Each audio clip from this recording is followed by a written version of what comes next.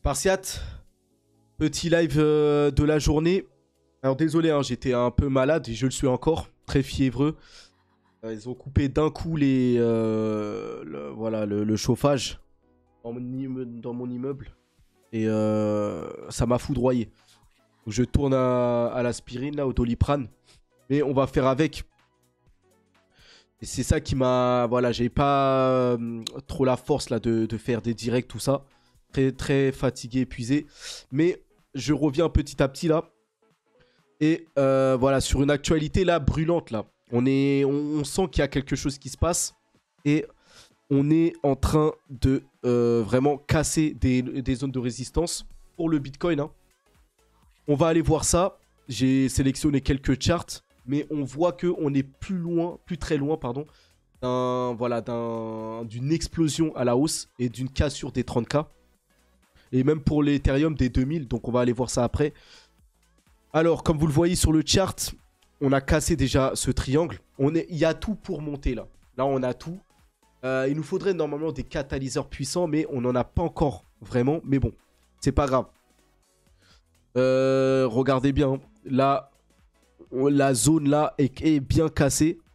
Donc là, franchement, il a plus qu'à ça a plus qu'à péter. Donc ça fait plusieurs jours qu'on range, qu'on monte, qu'on redescend, voilà. Mais le, le triangle a été cassé par la hausse. Maintenant, on attend juste l'explosion. Donc, si on prend de manière reculée, voilà, on est dans un range haussier. Hein. Mais regardez bien, là, on a un croisement en bas bullish, là. Vous voyez?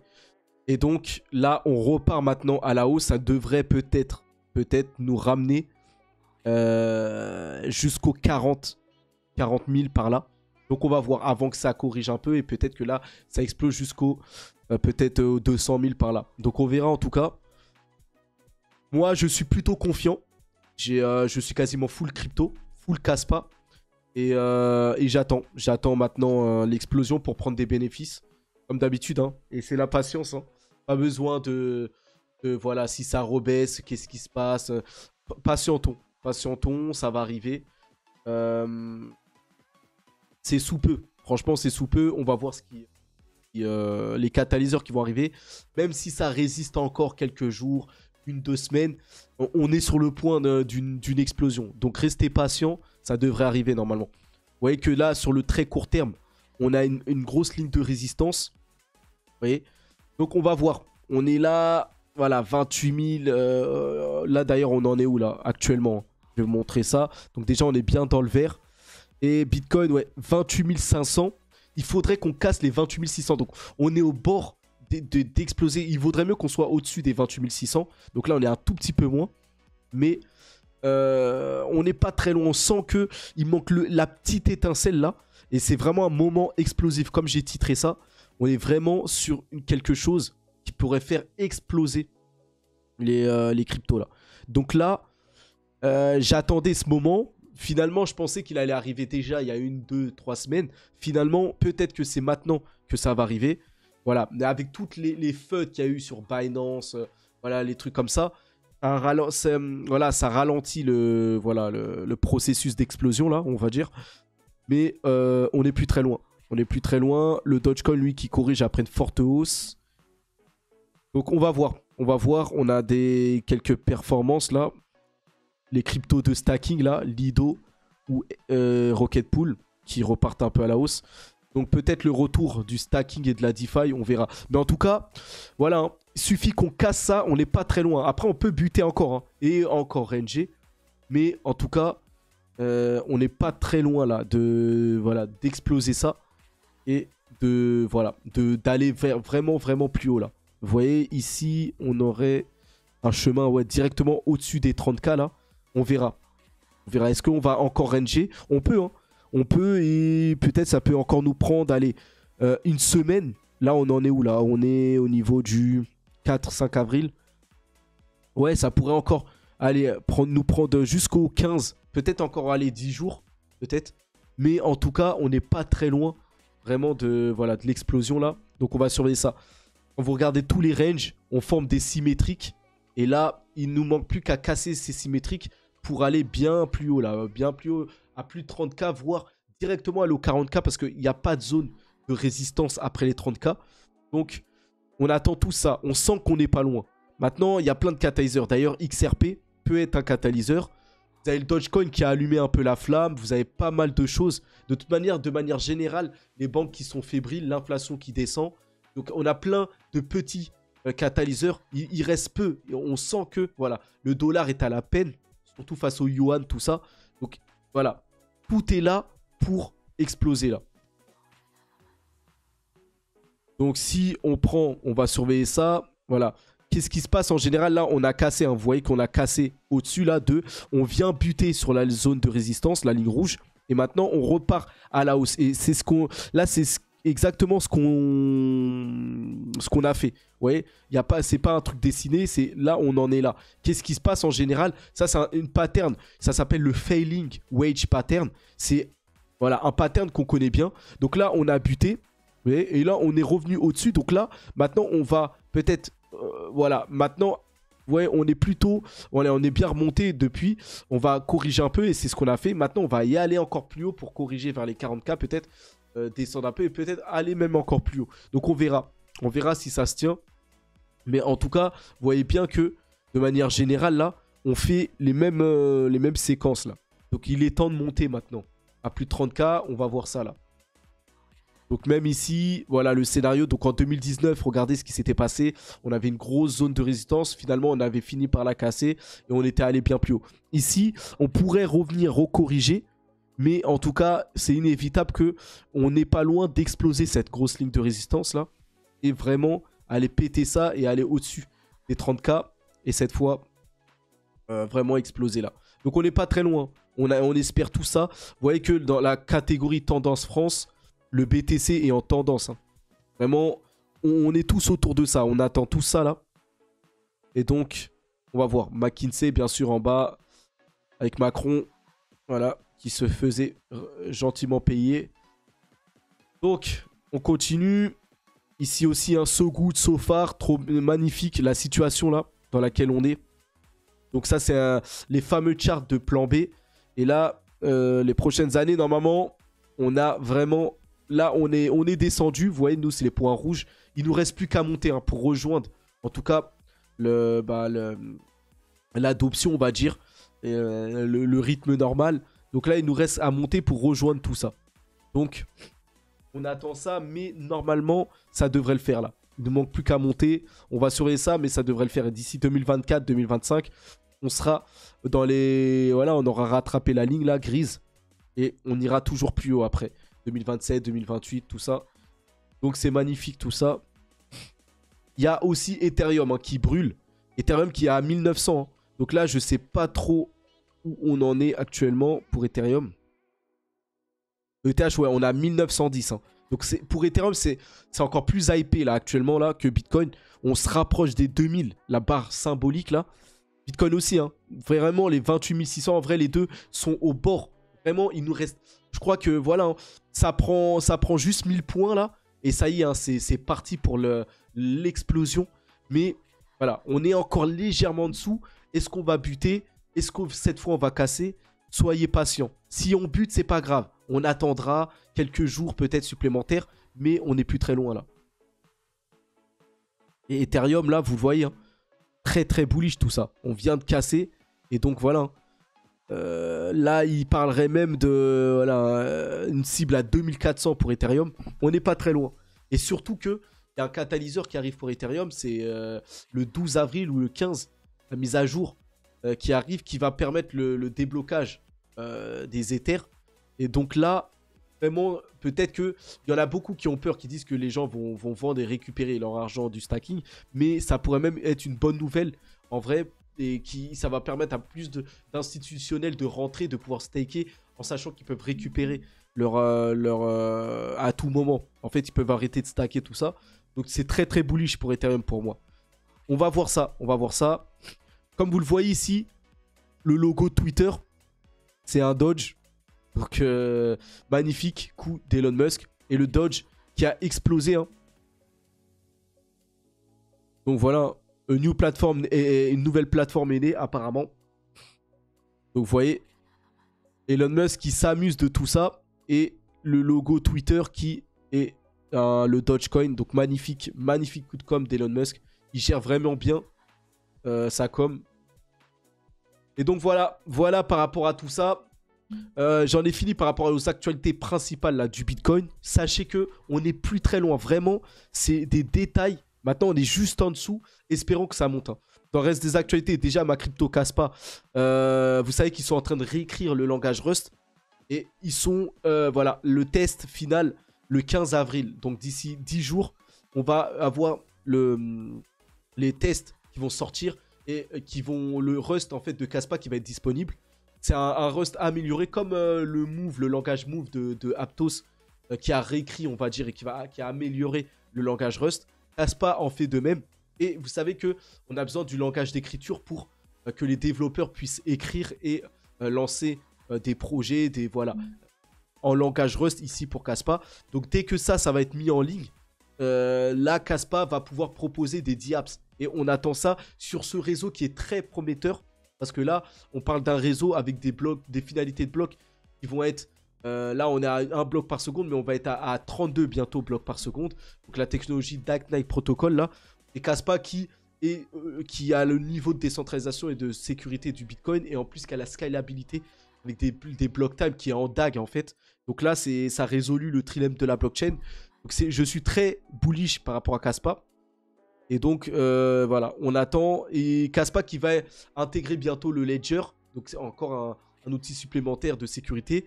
Et qui va euh, certainement euh, commencer à, être listé sur des gros exchanges, des, choses comme ça. Donc, très très bullish, hein, Caspa. je suis all-in dessus là, j'attends. Pour moi, ça va exploser. On verra en tout cas si je me suis trompé ou pas par rapport à ça. Je vous tiendrai au courant. Dans l'autre actualité, on a OpenSea Pro euh, qui va ouvrir donc un agrégateur de places de marché. Donc en gros, la plateforme est basée sur l'agrégateur Game, racheté par l'an dernier par la marketplace euh, américaine. Donc là, en gros, on va avoir du trading de NFT.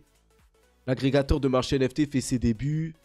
Agrégateur, tac, tac, tac.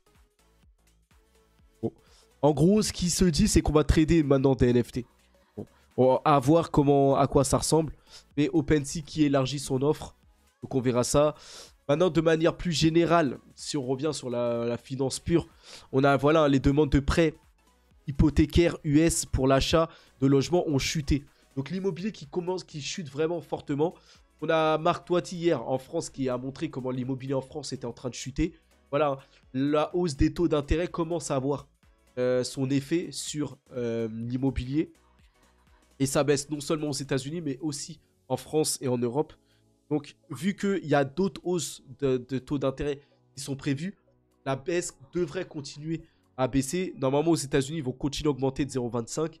Et en Europe, c'est déjà déclaré qu'ils vont augmenter de 0,50. Donc, l'immobilier qui chute fortement. Et peut-être d'ici le milieu de l'année, voire l'été, il va y avoir des coûts à jouer sur les prix de l'immobilier. Pour l'achat d'immobilier, tout ça.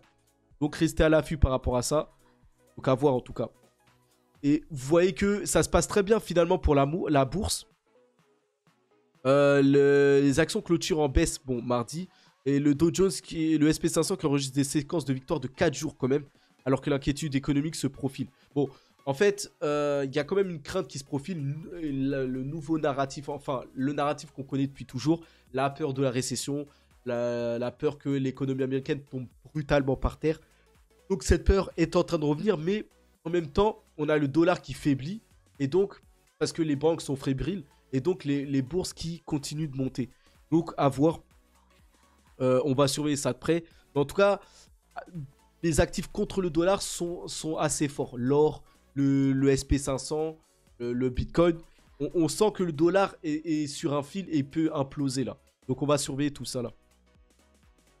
Euh, Jamie Dimon, justement, il craint, et le PDG de, euh, JP Morgan, donc la, banque la plus prestigieuse, la, plus puissante banque des États-Unis. Euh, JP, euh, vous savez que JP Morgan, c'est John Pippon Morgan, hein, c'est le, voilà, hein, le, gars qui, même vous avez sa tête là, le, vous voyez le logo du Monopoly là, le monsieur qui a la barbe et le chapeau là, bah, c'est John Pippon Morgan qui a été redessiné pour le jeu Monopoly. Mais euh, c'est voilà, hein, c'est une personne emblématique.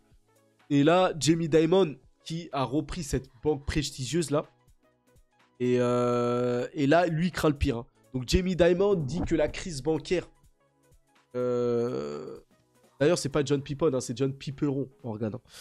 Pour pas écorcher son nom là. Mais Jamie Dimon qui dit que la crise bancaire n'est pas terminée et qu'elle aura des répercussions pour les années à venir. Donc voilà, voilà pourquoi le Bitcoin est fort. Voilà pourquoi le SP500 monte. Voilà pourquoi euh, le, dollar chute. La crainte, en plus les taux sont très élevés. À tout moment, ça peut secouer encore. On attend et dit dès que parce que là, même l'État américain peut-être va, finir par se retourner pour euh, baquer le dollar, va finir peut-être par se tourner euh, même vers le Bitcoin. Vous voyez? Donc là, le dollar est vraiment à un point critique là. On va voir ça est très critique en ce moment. Donc j'attends ça, de voir tout ça avec impatience. Hein. On va voir tout ça. Euh, Donald Trump. Donald Trump qui euh, il a 34 chefs d'accusation contre lui. On essaye de lui mettre, de, l'empêcher, hein, parce que là, il y a tout. 2024, il devrait gagner largement. Il en avance déjà face à Ron DeSantis, rival euh, direct. le, Ron DeSantis, c'est un gouverneur de Floride il est très respecté, très euh, adoré, mais il est quand même en retard euh, sur les sondages face à Trump. Et Ron DeSantis, c'est un peu le futur. Il reprendra la relève de Trump peut-être plus tard. Mais là, en tout cas, Trump face à Biden en 2024, euh, on voit que Trump devrait largement gagner. Et justement, c'est la crainte des, élites, des mondialistes. Donc ils font tout pour arrêter Trump, pour éviter qu'il puisse représenter tout ça. Et donc voilà, Trump qui a fait, euh, il y a, ça passe partout sur Twitter, euh, des déclarations à Marlago là en direct. Vous allez voir ça. Enfin, je le montre un peu partout là. Je l'ai, je l'ai assez repartagé. Je vais montrer ça. Voilà. Le, il a déclaré hein, que notre monnaie s'effondre et sera bientôt plus l'étalon mondial. Ce qui sera la plus grande défaite des États-Unis. Donc il le voit bien là, là, en ce moment, la Chine est en train de mater les États-Unis. Hein. La Chine est en train de récupérer euh, euh, l'Indonésie, l'Honduras, l'Afrique. Voilà, tout est, euh, et tout le monde se tourne vers le, yuan, même les, pays du Golfe, là, du pétrole, tout ça. Et Trump sait quoi faire. En général, lui, il, fonctionne par, on va dire, sanctions et tout. Mais là, voilà, Biden, lui, il est incapable. Je sais pas ce qu'il fait. Mais voilà, le dollar qui se perd et qui est en train de mourir vraiment ça va faire les, affaires du Bitcoin, tout ça. Mais en tout cas, pour les États-Unis, c'est euh, voilà. Et déjà que euh, les États-Unis, la population est très vieillissante, l'Occident est en train de se mourir petit à petit. Donc les États-Unis, même la grande puissance, tout l'Amérique tout puissant, va même reculer peut-être. Donc c'est incroyable. Et euh, c'est ça pour ça que Xi Jinping avait dit à Poutine c'est une chose qui s'était pas, qui, s'était pas passé depuis un siècle ou je sais plus. Donc voilà. Et Trump insiste impuissant à ça là. Mais il est, pour l'instant, il peut pas, voilà, il doit déjà se défendre face aux accusations contre lui. Voilà les choses face à accusations de viol, tout ça. Bon, on lui met tout sur le dos, donc on verra s'il s'en sort. Et donc les relations entre l'Europe et la Chine atteignent un tournant critique après la rencontre Xi-Poutine. Donc là, on a Macron qui, en ce moment même, euh, vous le voyez ici, je vais vous le remettre ici. Donc, Macron qui est arrivé en Chine. Donc vous voyez là, il descend l'estrade. Euh, à mon avis, euh, voilà, bien sûr, il n'a pas été accueilli par euh, Xi Jinping. À mon avis, il va ressortir bredouille de tout ça. Xi Jinping, il a des plans bien clairs et il, gère très bien ses affaires. Macron qui va essayer d'aller le convaincre par rapport à la situation russe, Ukraine, comme quoi Poutine c'est un méchant. Bon, il a aucune chance. en, gros, je vous le dis déjà, ce qui va ressortir de, de la rencontre, c'est un flop pour Macron et surtout Macron qui va se soumettre et qui va juste, signer des contrats euh, en yuan. Macron qui va signer et qui va, hum, voilà, qui va accepter des, nouveaux contrats payés en yuan et c'est tout ce qui va ressortir de ça. Donc il est impuissant face à la Chine et donc euh, c'est ça qui devrait sortir. Donc on verra cette rencontre, on verra, mais en tout cas il y aura rien.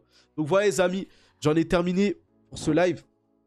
Je vous laisse là et euh, et euh, je vous lis euh, peut-être s'il y a d'autres actualités, je vous dis peut-être à ce soir, on verra. Donc, euh, surveillez bien les cryptos. Hein. On est au bord de l'implosion. Donc surveillez bien, bien ça. Parce que là, on est sur le point vraiment d'exploser vraiment. Bon, en tout cas, force à nous. Hein. Force à vous pour cette semaine et restez à l'affût. Hein. Ok? Allez, à plus.